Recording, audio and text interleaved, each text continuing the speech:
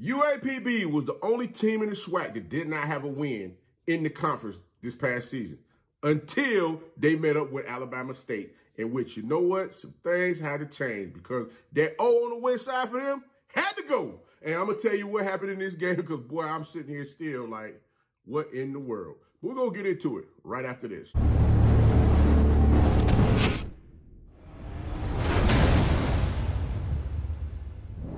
It's your favorite coach back at it again. Ten toes down, about to tell you how it all went down. This is Tomorrow Leader Sports Network with your host, Coach Walker. If you're new to the channel, please like, share, subscribe. Hit that notification bell so you get all upcoming videos. For all my leaders out there, welcome back. Y'all know the drill. Y'all know the routine. If you haven't done so already, please like, comment, and share these videos. And tap in the friend to. Tell them come on in. It's nothing but positive vibes. We just having a good time talking about HBCU sports. And don't forget, you can follow us on all social media platforms. The links are listed down below in the description. So without further ado, we're going to go ahead and get into this thing. Because I know y'all like, Coach, what's your thoughts on this game? I'm going to be honest with you. It was the turnover bowl. I'm like, there were so many turnovers in this game. I think between the two teams, it might have been, what, five or six turnovers, something like that. And I'm just like, guys, whoever can get this under control is going to win this game. And for the most part, UAPB, they took advantage of the turnovers in the first half of the game. Now, I got to give Coach Eddie Robinson Jr. his props because he went in at halftime and he must have jumped off of their behind and let them know who really was swag once again and went 10 toes in and told them, hey, look, y'all get this garbage together right now. Y'all are embarrassing yourselves out here on Thanksgiving with everybody watching y'all play. And I'm going to be honest with you whatever the speech was that he gave to them, they came back out there and they got motivated and they got after it. They ended up putting up two touchdowns on back-to-back consecutive drives after, you know, they forced UAPB to go four and out, got the ball back, came back, got the ball back again. They scored both times. Now, Dematrius Davis on the day for Alabama State, he was trying to make plays for the Hornets that would cause him to get sacked. That young man was sacked, I think, like four or five times in the game. And a couple of times with him trying to make plays instead of just throwing it away because there was nothing there or just pulling the ball down and taking off, he threw an interception that one time that cost him.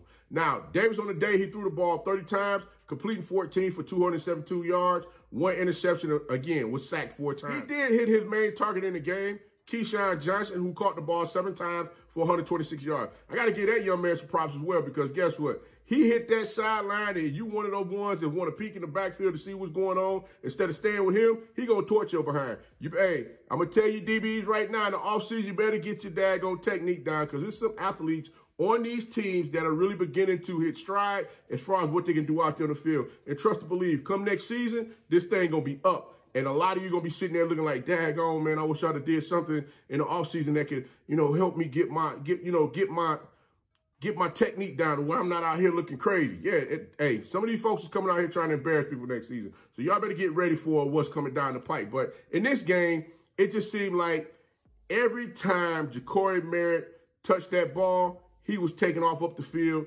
busting them for big plays. Now, I'm going to be honest with you. The offensive line didn't help much in some instances as far as with blocking because UAPB seemed to be on Alabama State side of the ball. What Ja'Cory Merritt came out in that third quarter, he hit one, the second touchdown he ran on. He took that bad boy to the house 50 yards, bust wide on the day he ran the ball 17 times, had 91 yards, two touchdowns. He would have had three, but guess what? They called that one back because of a holding penalty. Touchdown right there would have had Alabama State ahead in this game, and they would have possibly won this game. But you know, as I stated before, between the lack of blocking and the penalties and the turnovers, they just const, they just constantly kept shooting themselves in the foot. Now, Skylar Perry, on the other hand, for UAPB, he got off the day in which he had he had a pretty good day. I mean, until he tried to take off out the pocket, he tried to slide, in which he got hit in the head. They didn't call that a targeting call. They went ahead and said, you know, uh, I guess it was a legal hit, but Perry ended up going out of the game.